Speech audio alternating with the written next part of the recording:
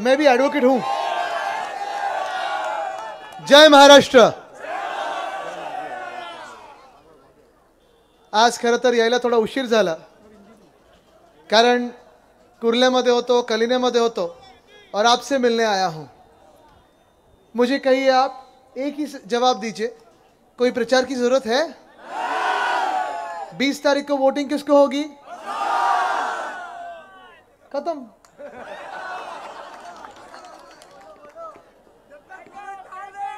बोलने लिए बहुत कुछ है। लेकिन अब भी वरुण जो मेरे सहकारी है, मेरे भाई भी है, छोटे भाई है, इन्होंने जो आपको वादा किया है, वो वादा पूरा करने के लिए ताकत देनी आपको ज़रूरी है। ये ताकत आपसे आएगी, आपके आशीर्वाद रहेंगे, आपका प्यार रहेगा। और अगर यही प्यार 20 तारीख को मशाल को मिलेगा तो जो सारे वादे, जो सारे सपने इतने सालों से आप देखते आए हो, उसे पूरे करने की ताकत ये हम सब में है। मेरे साथ आज जो मंच पे बैठे हुए, कभी ना कभी हर कोई विधायक रहा है, कभी नगर सेवक रहा है, आपकी सेवा करने की एक कभी ना कभी मौका मिला है। लेकिन आज जैसे क्रिकेट में होता है ना best of everyone best of world वैसे सब लोग स्टेज पे है। उसमें शिवसेना उद्धव बाला साहेब ठाकरे पार्टी है, कांग्रेस पार्टी है, राष्ट्रवादी कांग्रेस शरद चंद्र पवार साहब की है, सारे जो अपने मित्र पक्ष है, वो सारे लोग हैं। और अपने सामने जो खड़े हैं, सिर्फ़ अपने विरोध में नहीं तो इस महाराष्ट्र के विरोध में, इस मुंबई के विरोध में, इस भारत नगर के विरोध में, वो कौन है? महायुति। और महायुति से जो उम्मीदवार है, ठीक है, मैं उनका नाम नहीं लेना चाहता, लेकिन मैं यही कहना चाहता हूँ कि यही उम्मीदवार, चाहे वो अजीत पवार जी के पार्टी से हो या फिर भाजपा से हो या एकनाथ शिंदे के पार्टी से हो, कोई फ़र्क नहीं है सब के सब सेम है। बराबर है? हम में और उनमें फ़र्क यह है, क्योंकि हम यही विश्वास करते हैं, हमारा विरोध जो मोदी जी को है, वो इसलिए नहीं है कि कोई आपस में झगड़ा था या है या रहेगा। हम जो मोदी जी को विरोध करते हैं, वो झगड़ा इसलिए नहीं है कि वो कोई हमारे पूर्वजों से दुश्मनी रही है। हमारा झगड़ा इसीलिए है कि आज उनकी पार्टी भाजपा, आज उनके जो सहयोगी दल है, फिर राष्ट्रवादी कांग्रेस जो घड़ी वाली है और उनके जो सहयोगी दल है, गद्दार एकनाथ शिंदे, वो सब के सब अपना महाराष्ट्र लूटना चाहते हैं। ये गद्दारी जो कर रहे हैं, वो सिर्फ़ हमसे नहीं किए। ना उन्होंने सिर्फ़ उद्धव साहब की पार्टी तोड़ी, ना उन्होंने सिर्फ़ शरद पवार साहब की पार्टी तोड़ी। ना जो यहाँ से कांग्रेस से गद्दार बने हैं, ना सिर्फ़ तीनों पार्टी से गद्दारी नहीं हुई, ये गद्दारी हमसे हुई, आपसे हुई, पूरे महाराष्ट्र से हुई है। और यही वो लोग हैं जो हमारी जो ये एकता है, मुझे अभिमान है कि इस नगर का नाम जो है, वो भी भारत नगर है, पूरा भारत यहाँ है, सारे धर्म, सारे जारिया, सारे लोग यहाँ है, जो कष्टकारी है इस भारत का, जो मेहनत करने वाला है, वो सारे मेरे सामने है, साथ में भाजपा हो, जीशान हो, या कोई भी हो इसी एकता को तोड़ना चाहते हैं। हम में और उनमें फ़र्क यह है कि हम मानते हैं कि जो साईं बाबा कहते हैं, साईं बाबा क्या कहते हैं? सबका मालिक? बराबर ना? भाजपा क्या कहती है पता है? सबका मालिक अदानी है। यह फ़र्क है हम में और उनमें।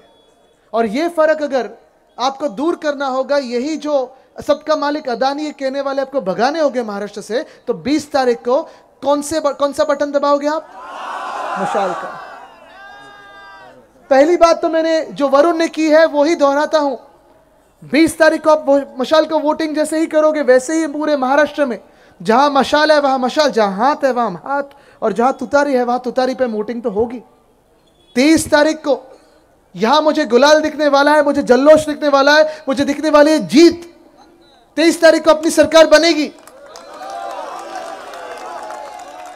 और जब अपनी सरकार बनेगी तो पहले दिन ही यहाँ से अदानी जी को हम कहेंगे। अदानी जी से कोई झगड़ा पर्सनल नहीं है, जैसे हमने कहा, मोदी जी से पर्सनल झगड़ा नहीं है, वैसे अदानी जी से नहीं है। गौतम जी हमारे पुराने पहचान के लेकिन मैं उनको साफ़ बात एक कहना चाहता हूँ, भले तुमसे तुम्हें दुनिया में सबसे अमीर बनना हो, बनो। भले तुम्हें सबसे, सब पे काबिज करना हो, करो। लेकिन मेरे मुंबई करों की आवाज़ तुम्हें सुननी पड़ेगी। ये जो मेरे सामने मुंबई कर बैठे हुए, उनकी आवाज़ सुननी पड़ेगी।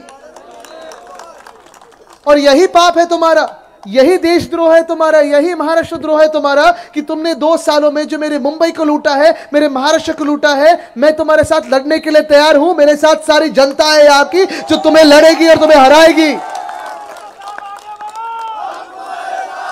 तेईस तारीख को जो अपनी महाविकास आघाड़ी की सरकार बनेगी तो पहले दिन जैसे मैंने कहा, धारावी में एक नया उजाला आएगा, वैसे यहाँ भी हम नई रोशनाई लाएँगे। यहाँ का विकास महाड़ा के तहत ही करेंगे।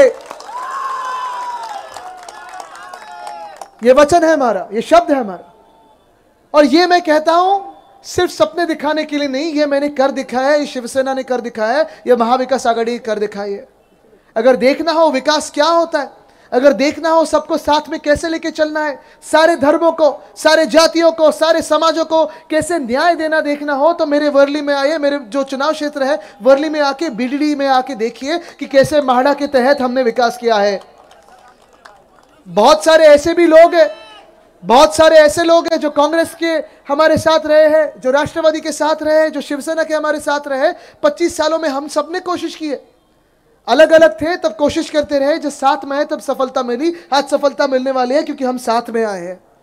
विश्वास है, एक ताकत है, और एक दूसरे पे ये जो विश्वास है, हमारे सामने जो महाझूठी महायुति है, उन्हें तो प्राइवेट बिल्डर्स लाने। मैंने सुना है कि यहाँ गली गली में दादागिरी करने की कोशिश करते हैं। सही बात है ना?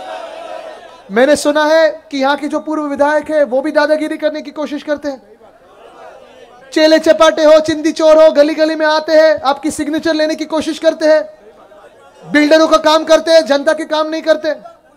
मैं वो सारे गद्दारों को कहता हूँ कि 23 तारीख को परिवर्तन होने वाला है, लहर बदल रही है, ये देखिए, तेईस तारीख को सिर्फ़ महाविकास आघाड़ी नहीं तो आप सबकी सरकार आने वाली है, और जो भी चिंदी चोर, जो भी गद्दार इस गली में आके दादागिरी करेगा, उसको पुलिस स्टेशन में बर्फ़ की लादी पे सोने की, सुलाने की ज़िम्मेदारी मेरी होगी।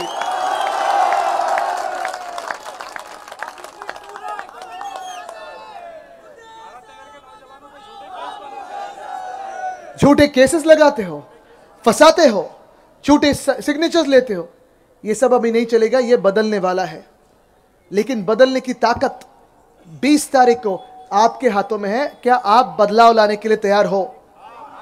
देखिए, मुझे बदला लेना नहीं है, मैं बदला लेता नहीं। मुझे बदलाव लाना है, वो बदलाव आपकी ज़िंदगी में लाना है, आपके सपनों के लिए लाना है, आपकी जो आगे की पीढ़ियाँ है, उनके लिए लाना है। कितने साल हम ऐसे ही रहेंगे? कितने साल हम मेहनत करते रहेंगे? मेहनत तो हर हर एक का काम बनता है, फ़र्ज़ बनता है, मेहनत तो करनी है। लेकिन जब हम घर आते हैं तो अपना हक का घर होना चाहिए। बराबर ना? अपने हक के परिवार को एक घर मिलना चाहिए। अपने बच्चों के लिए घर होना चाहिए। और ये घर के सपने जो दिखाने वाले भाजपा है, इसे सिर्फ़ महाराष्ट्र को लूटना है, बाकी कुछ नहीं करना है। यहाँ महिलाएँ बहुत सारी आई है। मुझे कहिए, आपको डेढ़ हज़ार रुपए मिल रहे हैं लाडली बहना में? आपको नहीं मिल रहे, पीछे मिल रहे होंगे शायद। पंद्रह सौ रुपए मिलते हैं। यहाँ नहीं मिल रहे, यहाँ आए ही नहीं है। वरुण, आपका काम बनेगा कि जो सिर्फ़ डेढ़ हज़ार नहीं, जो हमारा हमारा वादा जो है, डेढ़ हज़ार नहीं, हर एक महिला को तीन हज़ार रुपए हम देने वाले हैं। वो पूरा करना पड़ेगा आपको। हर एक नौजवान जिसको रोज़गार नहीं है जात पात धर्म ना देखते हुए, वो बेरोजगार युवाओं को चार हज़ार रुपए आपको देने ही पड़ेंगे। जो महिलाएँ प्रवास करती है, यहाँ से वहाँ जाती है, काम पे जाती है, अपने गाँव जाते हैं, मायके जाते हैं, उन्हें एसटी हो बीएसटी हो, पास उसका फ्री ऑफ़ कॉस्ट ही होगा। और धारावी हो भारत नगर हो, उसका विकास, ये सब मुंबई कर करेंगे, ये बदलाव हमें लाना है। लेकिन ये जो मैं कह रहा हूँ, वो बात याद में रखिए, झूठ कैसे करते हैं? भाजपा बहुत बड़ा चालाक है, जादूकार है। यहाँ के जो उनके उम्मीदवार कौन है? भाजपा के उम्मीदवार कौन है?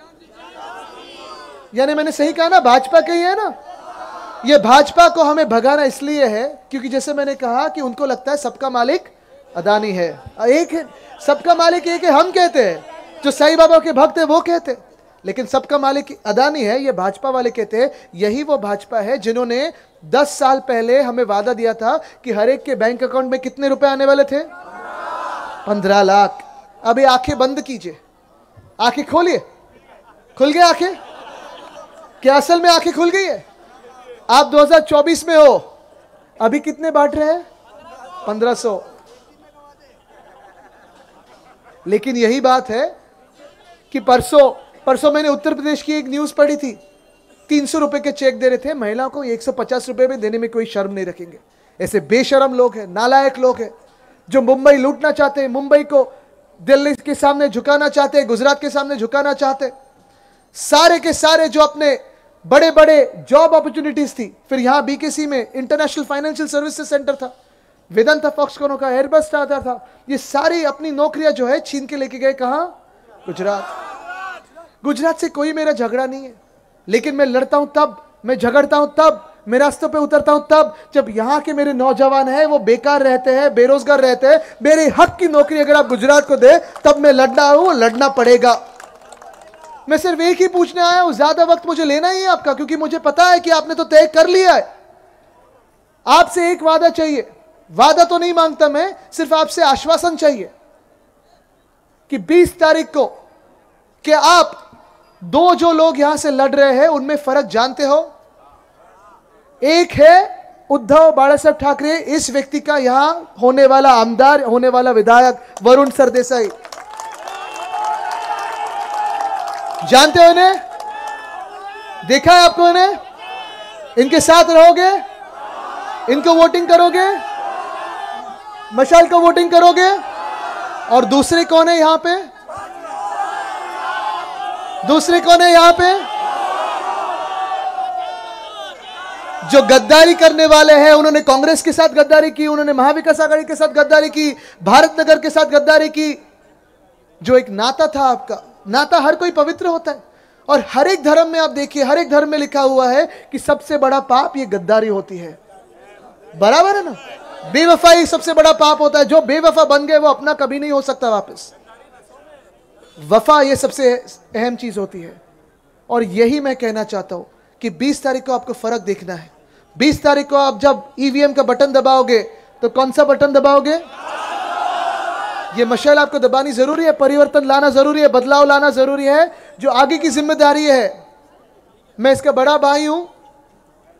सारी ज़िम्मेदारी मेरी है काम करवा के लेने की, लेकिन मैंने जो इसको देखा है कभी कभी मैंने वरुण का काम करने का देखा है तरीका कभी कभी मुझसे भी ज़्यादा काम करता है। बिन बुलाए आ जाएगा और आपका काम कर देगा ये, ऐसा आदमी है। क्या आप उनके साथ रहोगे?